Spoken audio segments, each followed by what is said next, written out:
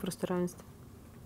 Ну, всегда помните о том, что э, чиновники, которые э, работают чиновниками, они работают на меня. Как на государство это я, государство это мои соседи и моя подруга, да. Э, и люди, которые выполняют какой-то функционал, необходимый мне для э, жизнеобеспечения, да, какой-то там, они работают на меня прежде всего. И э, это не наградная должность.